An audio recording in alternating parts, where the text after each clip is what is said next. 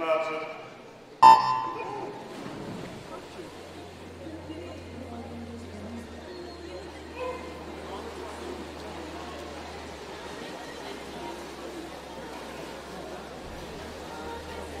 Deze achtste serie, natuurlijk in baan 4 Arno Kamminga, houden we nog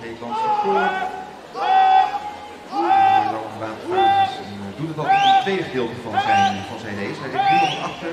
Maar als we even geduld hebben, dan komt hij vanzelf wel naar voren. Lucas Peter voorlopig aan de leiding. In de 27, 29 tweede positie. Klaas Kopperingen 28, 21. Max Peters derde positie 28, 55. De snelste in de was dus die 59-60 van Bram Zwetsloot. Dan zou je toch wel Lucas Greven en Arno bij komen. Daar zien we het tweede deel van zijn race. Hij zet hij naar voren toe. Dan komt hij bij de in 58-01. Snelste tijd tot nu toe. Lucas Greven 59-47. Dat is voor hem een persoonlijk record.